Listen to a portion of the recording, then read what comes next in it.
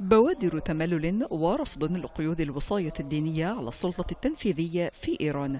ملامح هذا الرفض بدت واضحة في انتقادات الرئيس الإيراني حسن روحاني لإصرار المرشد الأعلى علي خامنئي المضي قدما في مشروع أسلمة العلوم.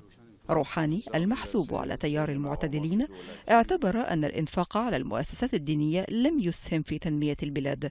واصفا الجهود الرامية إلى إضفاء الطابع الإسلامي على العلوم بالفاشلة.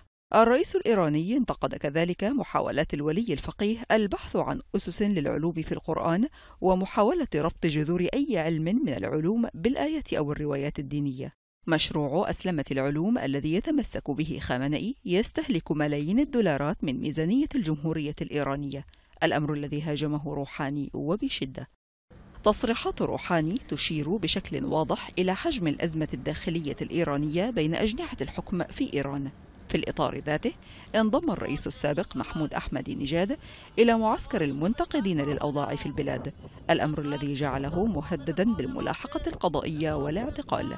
أحمدي نجاد دأب مؤخرا على توجيه رسائل إلى خامنئي يطالبه فيها باتخاذ إجراءات للخروج من الأزمة السياسية التي تشهدها البلاد وهي المطالبات التي وصفتها المؤسسات الدينية بالمتشددة وتستوجب المحاسبة.